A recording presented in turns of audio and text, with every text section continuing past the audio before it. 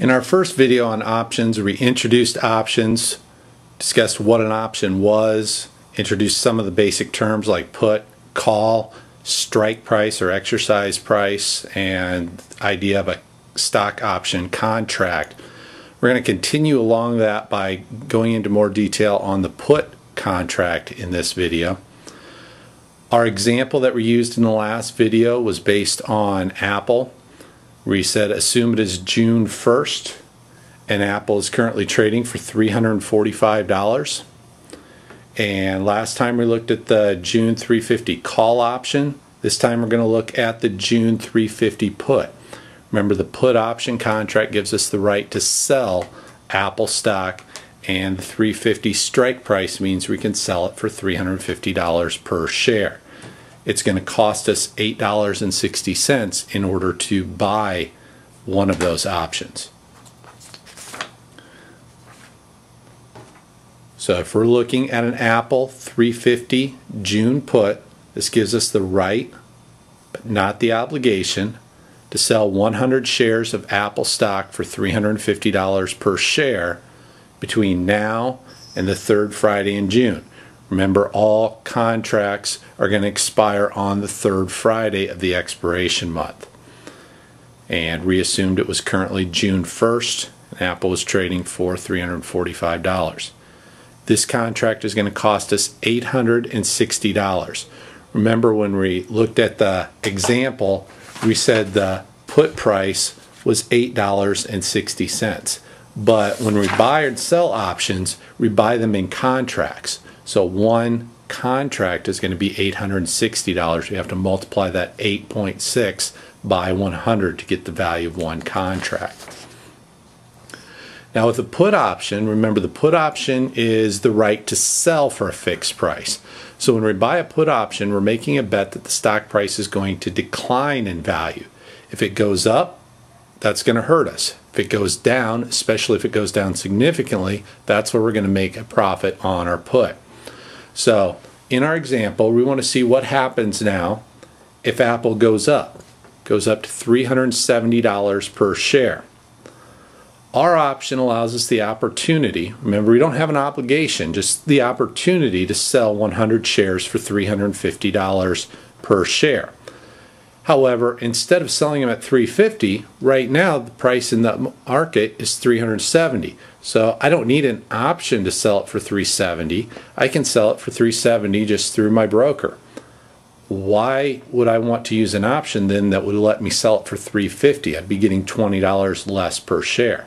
So in this case, I'm not going to sell it for 350. I'm not going to use my option. Instead, I'm going to let my option expire worthless. I'm going to say I purchased this right to sell Apple stock for 350. It's not to my advantage to use that contract right now, so I'm going to let it expire worthless and I'm going to lose my entire initial investment, which was $860.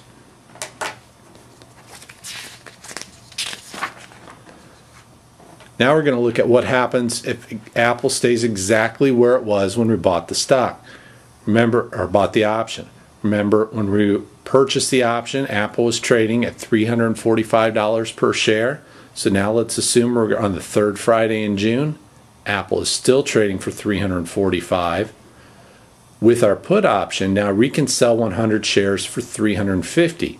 That's more than the current market price. So now we want to use our put option. It's worthwhile to use it because we can now sell the stock for $5 more per share than the current market price of 345. Remember, each share or each contract is for 100 shares, so that $5 per share times 100 gives our contract a value of $500.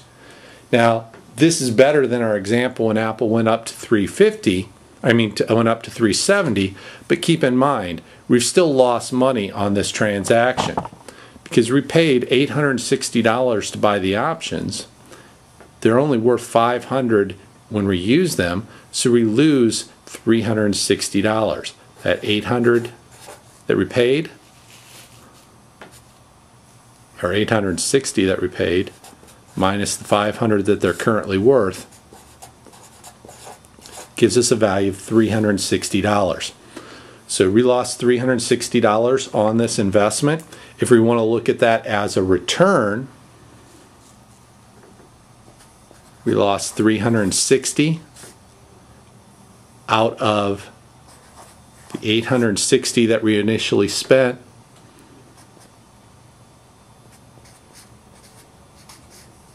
That gives us a negative 42% return on our investment. So when Apple stayed where it was, we lost money. Apple went up, we lost money. In order for us to make a profit, Apple has to go down.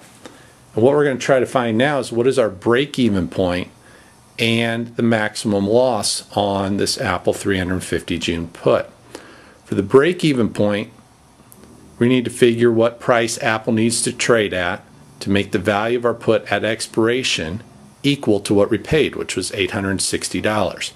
Remember that's $8.60 per share or per option.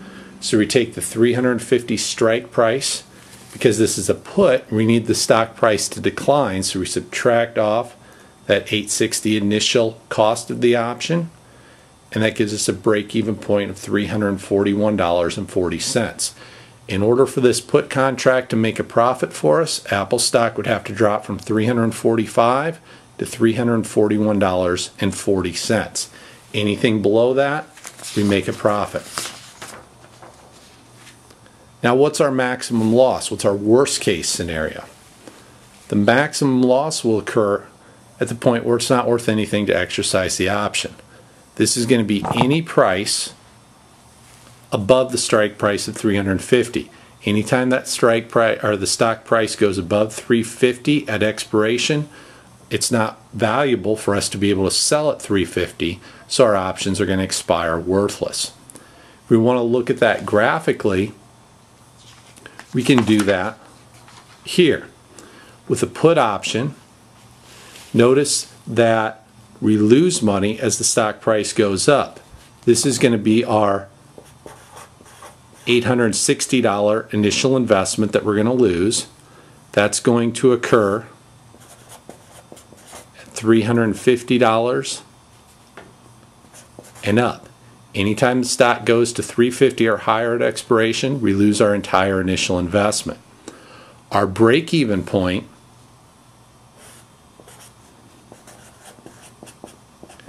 is that $341.40 that we calculated earlier. The strike price of 350 minus the $8.60 that we paid per option gives us 341.40. As the stock price falls further, we make more and more money. So you can see as the stock price goes down and down, our profit goes up and up. Best case scenario for the person owning the put contract would be Apple declares bankruptcy by the third Friday in June, and then there would be a huge profit on that, actually $341.40 per share profit. So $34,140 profit on that investment if Apple were to declare bankruptcy. Now, that's not likely to happen, so that's a theoretical best case scenario. But in reality, a drop of 10 to 15% in the Apple stock price could generate very large returns for the person holding that put option.